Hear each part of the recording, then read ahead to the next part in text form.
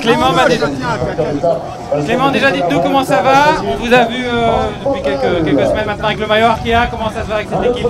Non, non, ça se passe euh, plutôt bien. C'est que pour l'instant, c'est pas la, super forme, mais euh, ça se passe bien avec l'équipe. On a Kevin qui est très très fort sur ce Paris-Nice, donc on va essayer de l'aider au mieux sur les prochaines étapes pour qu'il puisse faire un bon classement général. Pas la super forme, mais on vous a vu attaquer, je crois, il y a deux jours. Euh.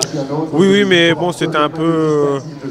Je sais, c'était pas, c'était pas une super idée, et puis j'avais pas non plus des super jambes, donc euh, en tout cas, j'espère être mieux ce week-end pour pouvoir euh, accompagner Kevin le plus longtemps possible sur les montées. Est-ce qu'on a une petite chance aujourd'hui? Il y a une petite carte à jouer pour ben, Le parcours il vient de changer il y a quelques temps, puisque je crois que l'étape va être raccourcie, donc je sais pas, euh, on va, le briefing va être sûrement changé, donc euh, c'est que le scénario de la course il reste aussi d'être différent, donc euh, je sais pas s'il y aura beaucoup d'échappées aujourd'hui. Merci Clément, bonne chance Merci.